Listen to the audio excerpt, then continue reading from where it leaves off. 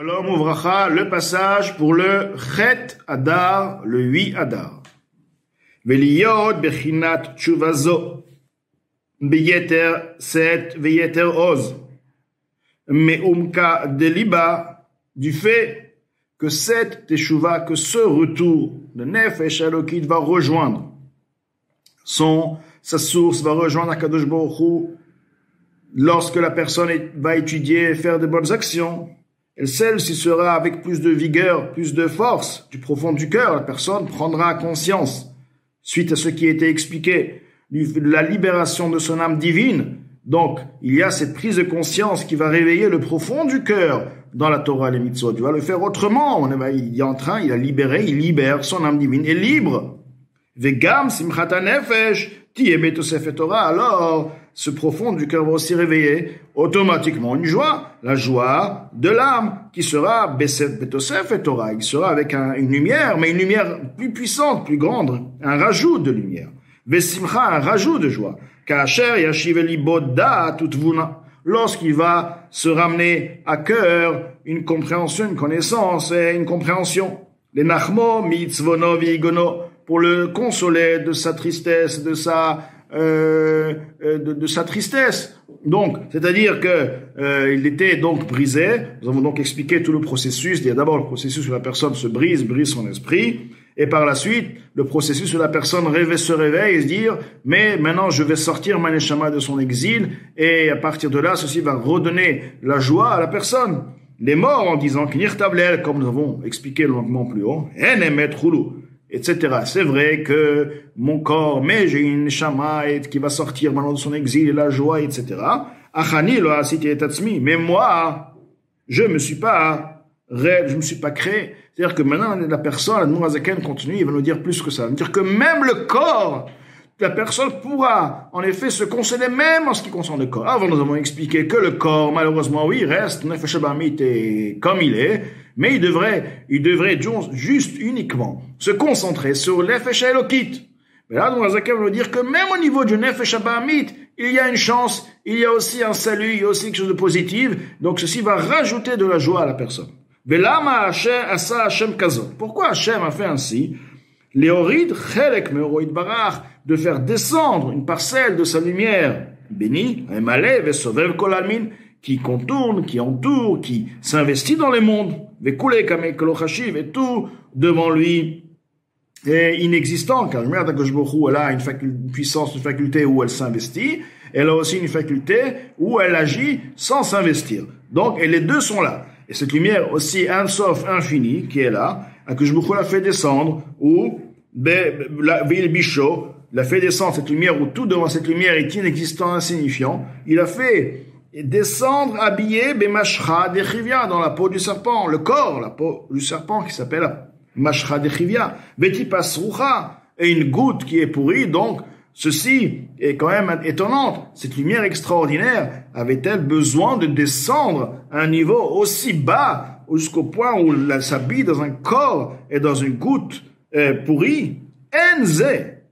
Ceci est uniquement qui cette descente est en effet pour le besoin d'une, d'une, d'une relevée, d'une remontée. Les halot lachem, pour faire monter à Kadosh Baruch kol nefesh shem noga. Toute l'âme vitale animale de l'écorce, l'impureté de noga. C'est-à-dire que c'est non pas seulement pour l'aneshama. Pourquoi tu es descendu dans un corps? Parce qu'il faut élever le corps. Le corps, c'est la vitalité du corps. C'est l'âme animale, l'âme vitale. Donc il y a un travail, il y a un but. Et également, tous les habits, donc de l'âme animale, hen bechinat ce sont donc le niveau de la pensée, l'habit qui est marshava, la parole, et la pensée, que par ces trois facultés, les, les, attributs de la Neshama se révèlent.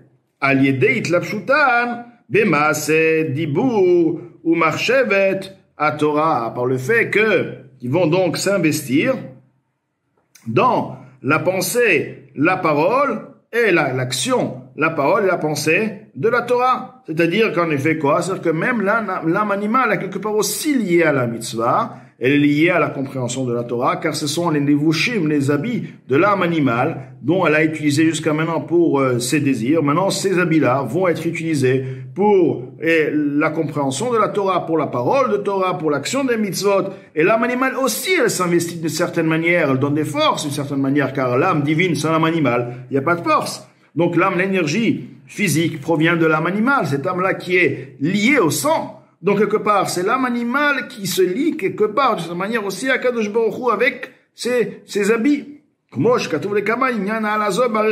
plus loin, il va être expliqué longuement le concept de cette élévation-là.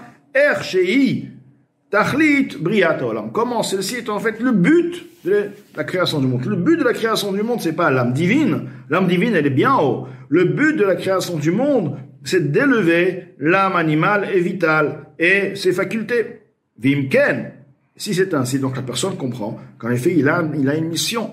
Il, d'un côté, il se plaint, oui, mais le corps, l'âme animale, oui, mais c'est une mission qu'on te donne. C'est vrai, mais c'est une mission. Et regarde, tu vas, tu es en train de réaliser ta mission. Vimken et c'est alors dire, bah tiens, si c'est une mission, ben, je regarde les choses autrement. Je vais effectivement réaliser ceci. Ceci sera moi le but tous les jours de ma vie. La chol baen d'inclure en eux la vie de mon esprit et de mon âme, comme il est écrit,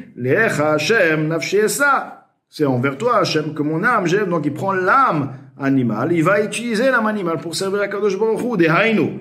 Donc les facultés de l'âme animale, les habits de l'âme animale, des haïnu, ceci veut dire, les kacher, marchavati, vediburi, marchavato, vediburu, barach, d'attacher, de relier ma pensée, ma parole, et, dans la pensée, la parole d'Akadosh Baruch C'est-à-dire que la pensée, en effet, cette pensée-là est l'habit de l'âme, Nefesh Maintenant, il va prendre cette pensée, il va investir dans cette pensée, penser à Kadosh Il va parler une parole, alors que la, la parole est en effet une énergie de l'âme animale. Il va prendre cette parole, cette énergie, il va investir en elle les paroles de Torah. Donc, il va il va s'investir se lier avec Akadosh Baruch Hu. Hen goufe halachot lefanenu. Ce sont les lois, les corps des lois mêmes qui sont exposés devant nous. De même l'action, l'énergie de l'action, ce qui est donc cet habit-là, qui va permettre à, à réalisation d'une action, il va réaliser maintenant une action de mitzvah. Donc, l'action de mitzvah va, la mitzvah, c'est une lumière d'Hachem qui est investie. Donc, il va relier, si on veut, il va relier son vouches de Maaseh, de Nefesh Achionit, il va le relier avec Akadosh Baruch Hu. Donc, il est en train de réaliser une mission. Et ceci même va lui donner une joie, dire, mais je suis même, suis en train de me plaindre sur ma situation, l'âme, l'âme animale, mais l'âme animale est en train de se réparer, je suis en train de l'élever, c'est le but. C'est pourquoi la Torah est appelée, c'est celle qui ramène l'âme. Que veut dire elle ramène l'âme? Elle ramène quoi? Puis aux explications, l'imkora à sa source et à son, à sa racine. C'est-à-dire que la Torah, la Torah ramène la neshama parce qu'on parle déjà, donc, la l'âme divine, à sa source, à sa racine, car la Torah, c'est il se trouve que lorsque la personne va étudier la Torah, il va, il, se lie avec Hachem, c'est Akadosh Baruch Donc, sa neshama revient à sa source.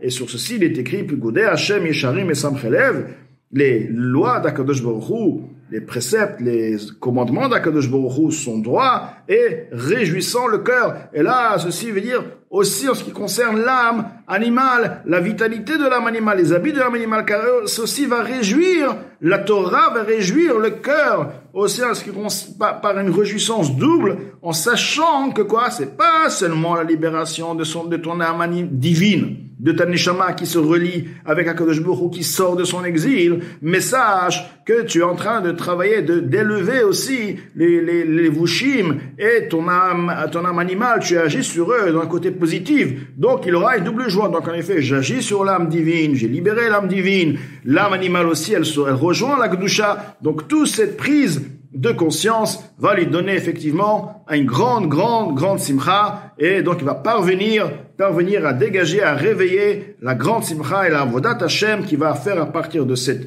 méditation sera extraordinaire.